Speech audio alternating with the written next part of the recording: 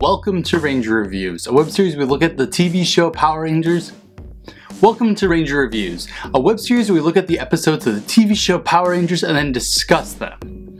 Today we're exploring the 67th episode of Mighty Morphin Power Rangers as well as the 7th episode of Season 2 titled The Green Dream. We start this episode at Angel Grove High School where Ms. Appleby is telling everyone that their 500 word essays are due this Friday. Wait, 500 words? Like 10 minutes of work. She warns Bulk and Skull that she expects their essays to be penny droppers, and Skull freaks out momentarily when Bulk mentions that this essay has to be about a subject that interests them, which again 10 minutes of work. They're going to write about the secret identity of the Power Rangers for some weird ass reason. In the hallway, Tommy's at his locker and he gets startled by Kimberly because he says that he's had a dream for three nights in a row about losing his powers and apparently it's bad enough to make him glaze over. Let's just all take a moment to appreciate the fact that this is the only moment we'll hear about this dream in an episode called The Green Dream. Lord Zedd watches this for some reason, and he says he's going to get the Sword of Power to make the dream a reality. Really? There's two power swords already in this show, one that is Jason's, and the other that belongs to the Megazord. There wasn't another better name for this MacGuffin? Oh, also apparently it can only be summoned when all the Power Rangers are together. Zedd knows more about this than the audience, evidently, or even the Power Rangers for that matter. Zedd wants to take Tommy to the Dark Dimension and persuade him to get him to bring the Sword of Power to them. At the Youth Center, Billy shows off some new device that scrambles frequencies to Trini, and for some reason, he thinks if he builds a bigger one, they can use it to defeat Lord Zedd. Tommy and Kim show up, and Tommy laments how he has to write a 500 word essay about whatever he likes. Apparently, he's writing about mythology. Bulk and Skull also walk in with a device that's supposed to read energies around them to show them who the Power Rangers really are. And it's going nuts. And Billy turns on his own device, and it leads Bulk and Skull to Ernie, who does a racist karate pose. Tommy heads out for the library. Zedd finds Tommy walking alone through the park, and he sends down putties to capture him, and Tommy goes, What? Putties? Never change, JDF. You're doing great, sweetie. Tommy shows off with some wire work, but then he just gets captured anyways. And they bring him to the one cave in Angel Grove, where Goldar shows up and spills out the entire plan. They're going to turn Tommy evil, get the Sword of Power, and make Tommy bring it back to them. Tommy says, I'll never do that and then he gets zapped with mind control because of course he does. Goldar finds a mythology book and he says he submits this image for your approval, Lord Zedd. What is happening? Lord zaps the thing creating the Robo-Goat, a monster that's almost definitely a ram instead of a goat, who has armor on and is not robotic in the slightest. This is feeling like a season 1 episode. At the command center, the alarms go off and Alpha finds out that the monster is coming out. So Alpha calls on the Rangers, who meet up with Tommy while they hear about that there's a whole new monster. The six teleport to the command center and watch on the viewing globe to meet Robo-Goat.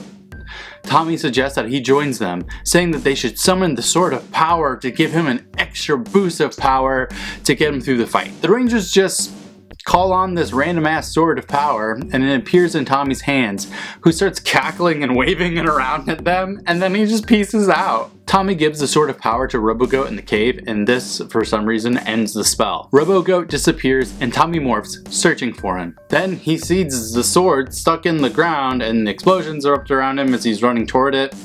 Robo-Goat comes out with the staff in tow, and there's a run-of-the-mill fight before Tommy gets the Sword of Power, and then it just turns into a stick. Now, Robo-Goat actually does have the Sword of Power, he hits Tommy off of a cliff who rolls down the hill and grabs his titties. The others morph to go save Tommy, but they're stopped by Robo-Goat who uses the sword to fire lasers at them. He then makes the earth split and everyone except Jason falls in. Did, did they just die? I guess it doesn't matter because Jason duels with the Robo-Goat with the power sword against the sword of power. That's where we're at now. Jason hits the sword of power out of his hands and it turns into a stick as well. According to Jason, Zordon teleported the real sword back to the command center, but we have seen nothing. Also, the other four rangers just come out of Robo-Goat's chest. What is happening? Trini says that they've been freed from their energy bubbles. Lord Zedd might as well say, this doesn't make any sense, so screw it, I'm just gonna make them big now.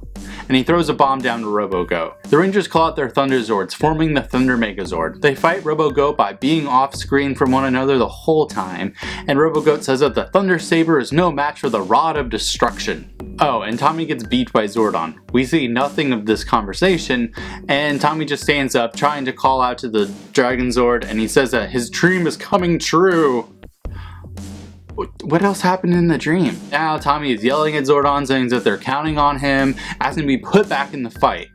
Who took you out? No one took you out! The Rangers stabilize for no reason and use the Thunder Saber destroying Robo-Goat. Lord Zedd screams at Goldar, Baboo, and Squat, two of which weren't even around this episode. He relishes in the fact that Tommy's powers are going to be gone sooner than later anyways. At school, Tommy says that his essay came out decently, but he's burnt out on short stories. Then, all of a sudden, he just says, I'm at the end, guys like he's dying. Kim and Jason try to cheer him up, and Tommy says that Zedd has had it in for him since the start, and now he's closing in. The end? Okay, this episode's confusing as hell. Tommy apparently is terminally ill as a Power Ranger there, and we end this episode on the lowest note I think we ever have. Where the hell did the Sword of Power even come from? Why was he called Robo-Go if he had nothing robotic going on with him? How did Zordon get that sword back if no one really teleported it to begin with? Also, why did we waste time by showing Tommy groveling on the ground, struggling to call out to the Dragon Zord but failing, only to have him yell at Zordon again for absolutely no reason? And lastly, how are you going to call an episode The Green Dream and never show the aforementioned dream at all? Well, that's it then, kids. Guess Green Ranger is going to be leaving the show for good. Might as well sell all your old toys now. How will next time fare for Tommy?